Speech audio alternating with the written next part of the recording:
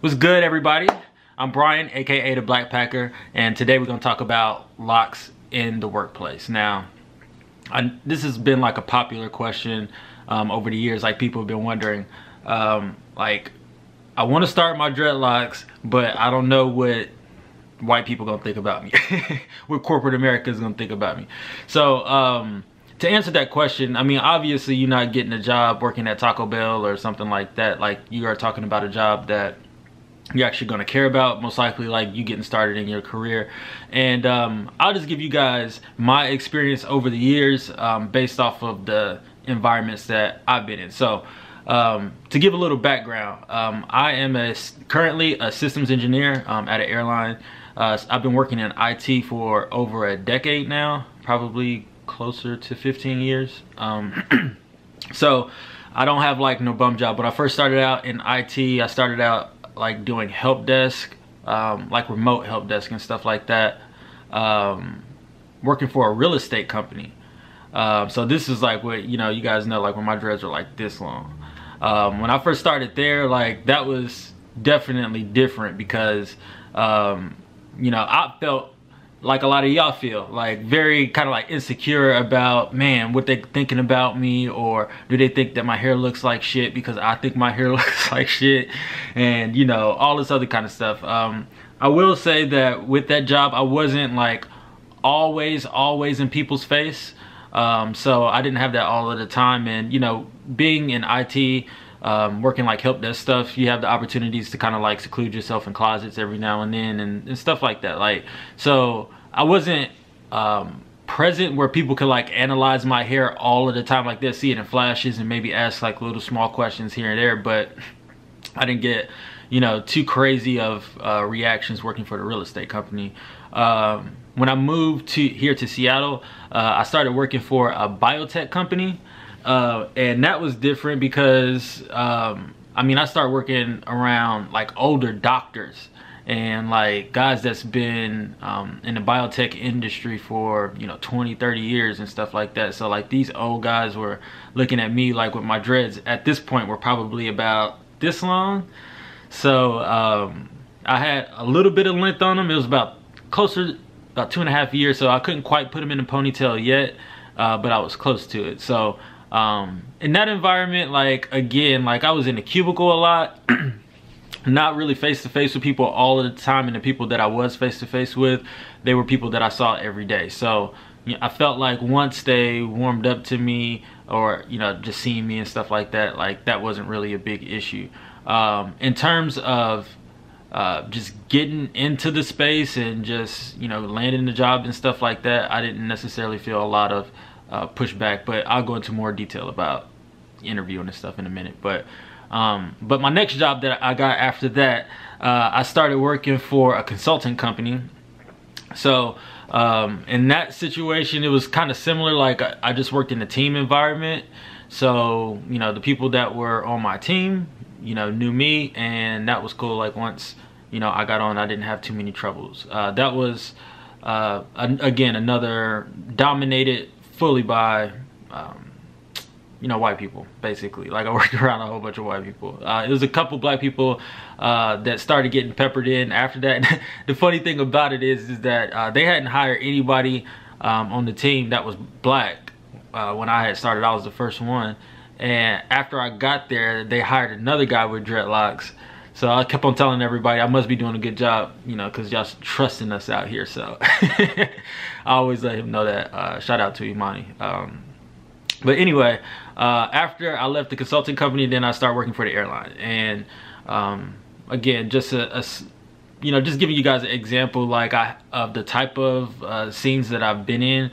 Uh, interacting with people that were, you know, secretaries all the way up to senior like C-level executives um, and such like. So obviously, you know, the big question through all of these type of types of venues that I've worked in uh, is like, what is the experience there? What is it like? Um, what I will say is that I haven't been met with direct discrimination. I don't know if anybody else uh, has or not in similar situations, but in professional environments, what I found is that white people tend to be a lot more passive aggressive. So they're not gonna like come at you and just tell you like, we're not gonna hire you because your hair or what the fuck is up with your hair or anything like that. They're gonna be, you know, a lot more, you know, mysterious about it, but it's just something that you just kind of have to feel through um, intuitively, you know, to figure out like why are they asking me these questions like this, or are they just curious, or are they being discriminatory? Like you just kind of have to shuffle that out. Um, also, I'll say that um, some people's prejudgment did exist. Like everybody that you know has seen dreadlocks, you have to understand like what is their most um, pop culture references that they have towards dreadlocks prior to them meeting you. A lot of the times, if they're older, you know, and haven't come face to face with people, it'll be like somebody like Bob Marley or something like that, or uh, who had freeform dreads, which is a lot different than you know, maintain locks or two strand twists and all of this other kind of stuff that we kind of like, um, you know, got creative with in uh, dreadlocks lately. But overall, like their um, their references are, you know, maybe musical artists or uh, football players or you know such like. So they're obviously going to have dumbass questions every now. uh, but even though they're dumb questions, it doesn't mean that they're judging you harshly or wrong, but sometimes their judgments can be wrong. Like they think sometimes that, oh, how often do you wash your hair? And just really off top like that question already makes me mad because uh, black people don't wash their hair as frequently as white people anyway. So with the addition of having dreadlocks and washing even a little bit less frequently than that, like even the, the true answer to that is gonna throw them away. So honestly, I don't even really answer that question. I'll be like, man, just as often as I need to wash it, when it gets dirty, I wash it. And that's it. I just kind of leave it there. You know, so those are like the kind of answers that I give them when they, you know, ask those questions. And, um, you know, you just kind of feel that out and fill fill out who is being genuine in asking questions and who is trying to be manipulative or facetious or whatever the case may be. Um, you just gotta do that. Um, I will say truthfully, as much as, you know, I want to say dreadlocks don't affect you in corporate America. Uh, nobody's, you know, you're not going to have any issues or anything like that. I'm going to just be real. Like, I've never seen a C-level executive with dreadlocks. Just facts. Like, um, I've never seen a director uh, with dreadlocks.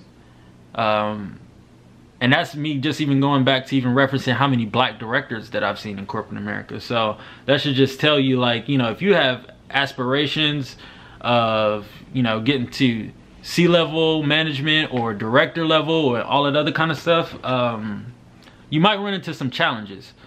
Uh, not because you're a bad person or anything like that, but I just think that right now within corporate America, the perception of people who fill those positions is very rigid because not only are they um, filled by you know white men like they don't even have you know a lot of those positions for women or women of color or you know us. So you're definitely going to get some challenges there but i will say that if you are um, looking towards getting to i would say this 90% of y'all whatever y'all ceiling is in, in y'all head um, or where you think you can go with this 90 to 95% of y'all, y'all gonna be able to do it with no problem. There's only a certain amount of you guys that are, I think that are even outside of the box in that way to even kind of, and that's, I'm not even saying that in a negative way. I might edit that out. I don't know. I'm not coming from a negative aspect when I say that.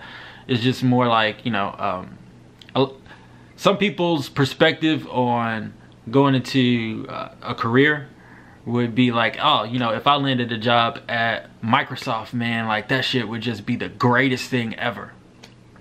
And you could totally do that with, with locks in your hair. Uh, but to me, you know, uh, and other people who kind of know what I'm talking about, the 5% of people are just like, why would I even work for anybody in the first place? And that's more of my own personal view. So, and I will say that, let's, that kind of segues into after coming through all of these jobs and experiences and dealing with white people, uh, you know, asking questions about my locks and just all of that, um, what my view is right now is that if I if I had the choice, I wouldn't do that. Like I would say this, like if you are a 17 year old kid right now watching this video, uh, wondering like, or your mom is asking you like, why you want to grow dreadlocks? Like you ain't gonna be able to get a job and this, that, and another. I would answer them and even answer if you're you're asking these questions yourself. Why do I want to get a job? See, you've already identified that there is a um, a core belief within you or a core feeling that resonates within you um, and how you relate to yourself externally, how you want to do that. And externally, you're not going to be free enough to do that or think that you're free enough to do that in whatever aspect. Why subject yourself to that? You guys that are young, that are getting dreadlocks, I would just venture to tell you that um, why don't you just be your own boss? where you can wear dreadlocks that look whatever way that you want them to look every damn day and you don't have to answer to anybody. That's what I would say. That's what I'm working towards. I've been fortunate enough to be in a position where, um, you know, I've kind of went through that whole corporate ladder a little bit, but I would be lying to say uh, that there's a deep wanting uh, within myself that just wants to exit the whole damn game and just work for myself. So that's really what I'm trying to do right now, uh, to be totally honest with you. So, um, but anyway, um, while I was in it, I still want to give you guys as much information as I can about, you know, corporate America. Uh, I will say that um, when you in it and you, you reserve yourself to say, hey, I am going to go through this process. I am going to engage in corporate America for whatever extent that I have to to get what I need before I exit, or maybe that's something that you just want to do. Um, I will say things to be mindful of when you do have dreads that will help you. Um, not only personally, just kind of be more comfortable, like when you're going into these interview situations or uh, talking to people, is that um, you have to use or what I've done is use me having dreadlocks as like a mental advantage. Like I already feel like um, by people uh, seeing me, they're gonna see black man dreadlocks. The bar in their head is going to go down. Like, oh, this guy doesn't know what the hell he's talking about. Like, how did he get through the interview cycles or whatever the case may be? So I come in with feeling like that's what their preposition is, like their predisposition is to me. And then I'm like blowing that shit out the water. Like I come into interviews just emitting a whole different energy. Like I always felt like no matter what happened, like this resume can say whatever the resume said All I need is to get in front of you. And if I got in front of you, I felt like my energy, the way that I resonated, the way that I explained uh, what I thought, what I know, my intellect would just automatically just be speaking for itself to where the person would be confronted with a decision like, man, like we were not expecting that.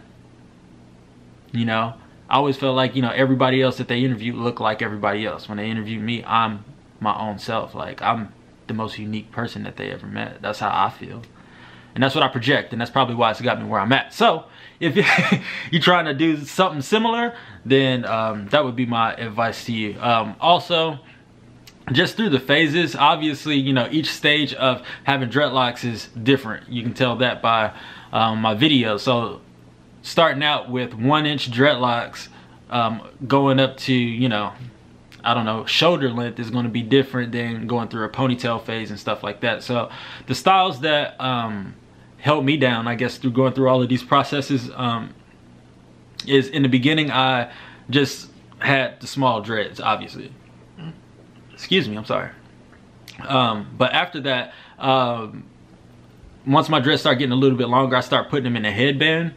And that way the dreads wasn't like in my face, like, like over my head, forehead right here and stuff like that, just looking like a mop. So I just preferred to have it out of my face a little bit more. So I had the headband. And once my hair got long enough out of the headband, then I transitioned into ponytails. Uh, once I got, that was about the three year mark. After the ponytails, I just wore ponytails every damn day like every day. I didn't wear my hair down at all. And uh, that was probably, you know, a good thing because in a sense because it's easy, but it's a bad thing because I think that I definitely thinned out some locks by doing that. Um, I had to merge a couple and all that other kind of stuff. But uh, but generally speaking, I just wore a ponytail. And um, once my ponytail got too long to where I start, you know, it started being annoying to like whip that shit around, then um, I had start doing like the bun or the messy bun where it's like up but like actually because it's getting on my nerves right now so I can just do this but I would just do a version of like this little messy bun like this and just rock that. So um, that's been pretty much my go-to every day when I go to work now is just a messy bun or a ponytail if, you know, I want to rock it that way. But anyway, I hope that this video was helpful to y'all. Uh, if you got any questions, make sure you drop them below. Click that like, click that notification button for the next video that comes out. And um, I'll holler at y'all next time.